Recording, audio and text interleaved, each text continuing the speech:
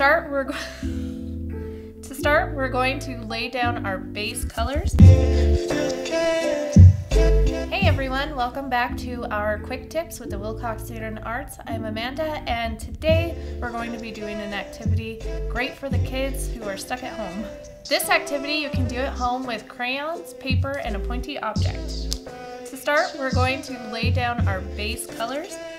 First, I'm going to use red, and I'm just doing lines going across. We're gonna make a rainbow with our crayons.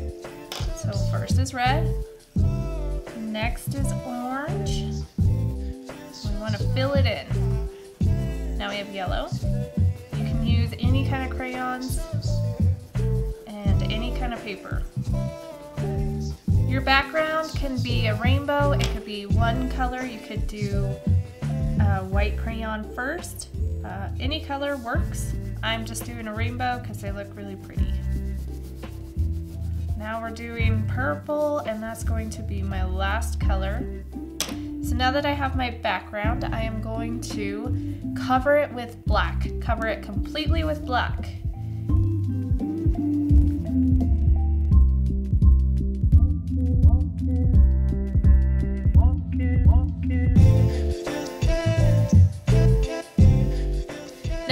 Have your black covering your background completely, you're going to take your pointy object and draw a design onto your scratch board. And I'm going to do a flower. So first I'm going to do my center. And once you start scraping away that black, you can see that really pretty design underneath. Now I'm doing my petals.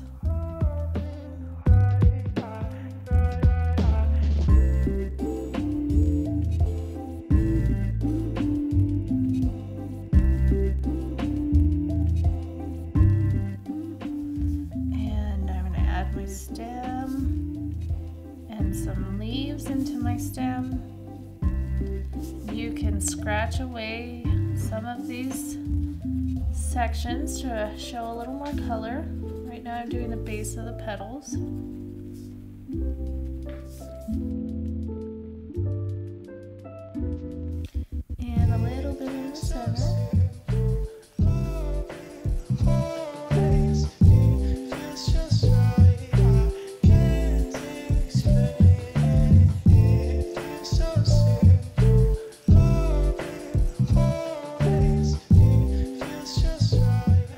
just going to even up some of my flower and there you have it, your very own scratch board. So today we made our own scratch board using crayons and a pointy object.